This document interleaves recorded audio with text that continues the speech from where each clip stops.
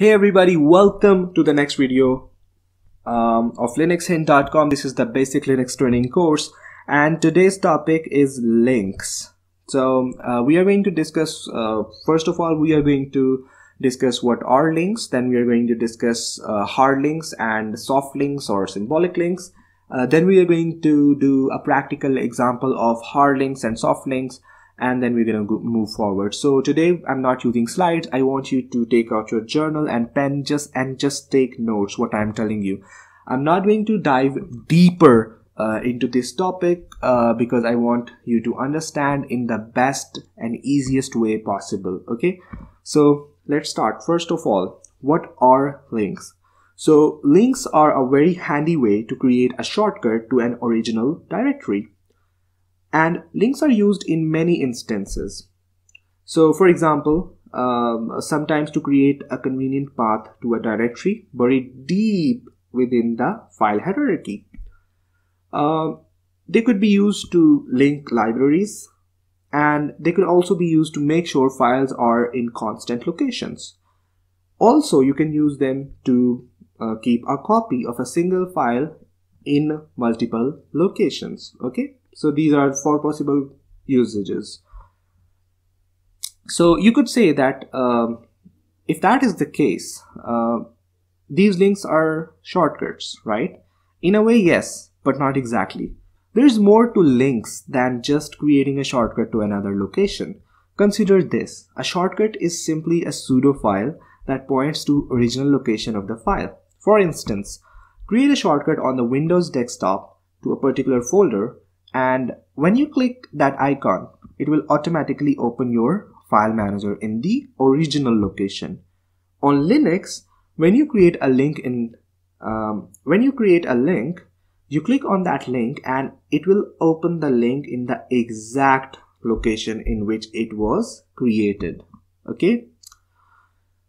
So there are two types of linux uh, sorry links excuse me.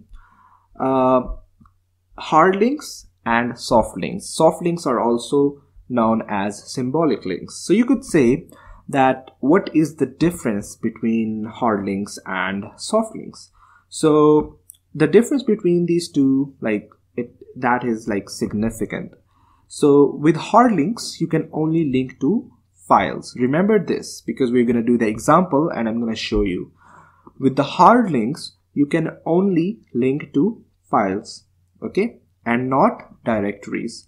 You cannot reference a file on a different disk and they reference the same inode as the original source okay? So a hard link will continue to remain usable even if the original file is removed okay?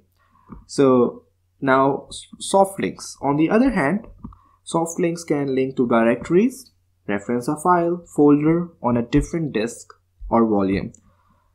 So it will exist as a broken, unusable link if the original location is deleted. Remember that in the hard link it was opposite. Okay. So I hope you have got the point. So these are like the two uh, differences between that. So if you did not understand, just play this video over and over again until you understand and take notes. Okay. So working with hard links. Now that is the fun part. It is practical. Okay.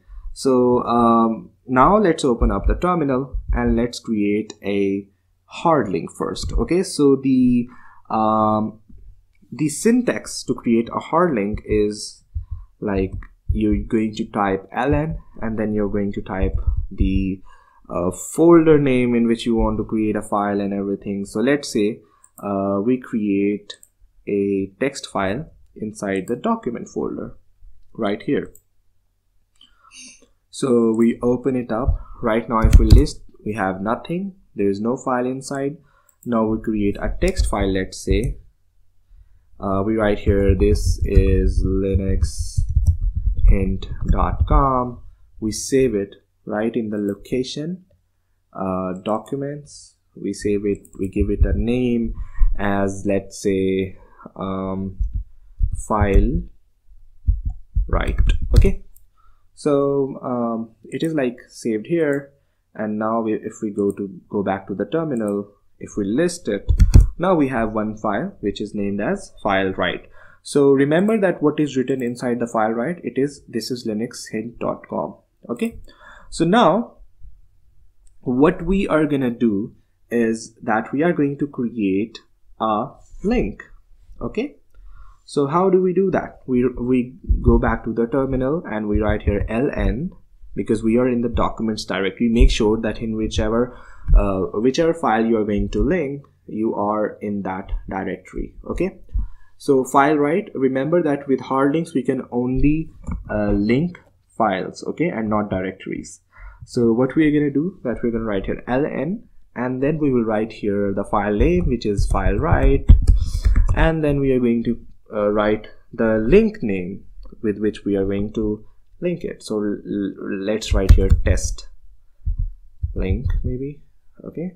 Or let's say let's call it hard link. So now if we list it we can see that we have a shortcut created of file write and now if we would open it up so we would have the same content. This is linuxhint.com as we have in the file write okay? So i hope you have got the point. All right so now uh, th that was basically uh, the example of the hard link. And now let's say uh, if we want to create a soft link the for the soft link the syntax is a little bit different. So what we're gonna do is that let's say uh, we create a soft link to this directory documents right um, in my case documents if I open it up it has two files. Uh, so let's say uh, I open up the terminal. Let me just close it first. Okay uh, we have created a hard link successfully.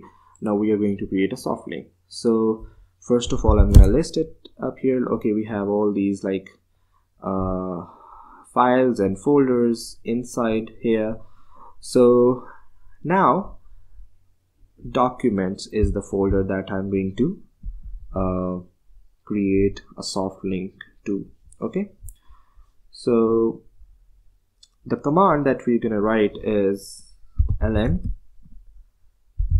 hyphen s and then the folder name which is documents and then the shortcut name or uh, which or the soft link name that I'm going to uh, create. Let's name it as soft link okay?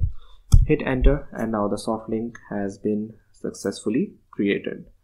So this is the documents folder. It has two files and this is the soft link that I have created to this document. And if I open it up uh, we have two files inside of it as well. Okay? So i have kept it simple and short and brief. I hope you have enjoyed this video and i'll see you in the next video